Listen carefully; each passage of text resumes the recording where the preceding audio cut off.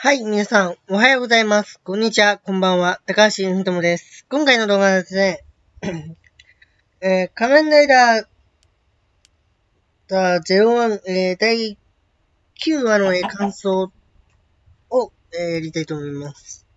感想会です。えー久しぶりに、えーリアルタイムで仮面ライダー01を見ました。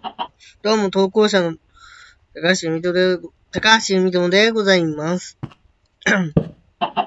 えー久しぶりの動画投稿もお許しください。えー、っとですね。まずちょっとスケジュール的な話から、感想の前にちょっとスケジュールから言っていきます。えー11月1日以降、えーえー通常通り、えー今まで、え10月までは不定期だったんですが、え11月からシリーズも増やすっていうことで、え毎日投稿やっていきたいと思います。ちゃんと思います、それ。という報告でした。で、えー、まずですね、えー、仮面ライダー019話の感想ですけど、えー見た感じ、えー、不破さんが、あの、入院するんですね。入院ってか、あの、まあ、入院するんですが、えー、まあ、あの、入院しました。そして、手術しようとしたときに、あの、ノットラ、あのー絶滅だ、なんだっけ、もうあの、たまにしか見てないんで、えっ、と、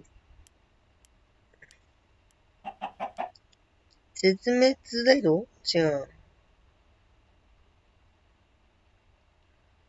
もうダメですね。ごめんなさい。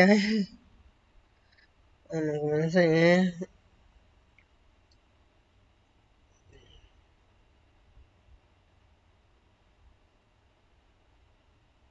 絶滅人類ネットっていう、えーやつが、えー、えー、シューマロイドに、えー狙いをするんですけど、まあ、あの、今回、その狙わ、まあ、フワさんをどう助けるかっていう、その、刃ユアの動きがびっくりしたし、あと、ただ、あのーまあ、謎の回って、今回は謎の回だったなと思います。第9話が。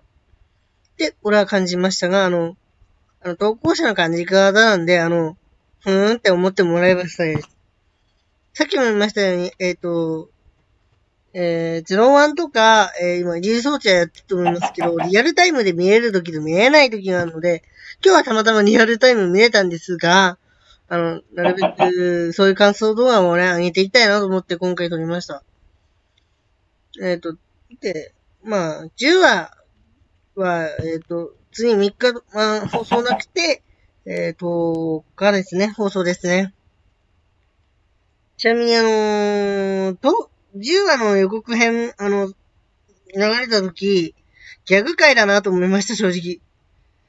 そして、刃優愛がどういう、あの、謎の男と会ってたんですが、あの、な、だ7話時点で。その男も絡んでくんじゃないかなと思います、今後のストーリー。それもちょっと気になります。ということで、えっ、と、仮面ライダー01の、えー、9話の感想でした。では、ご視聴ありがとうございました。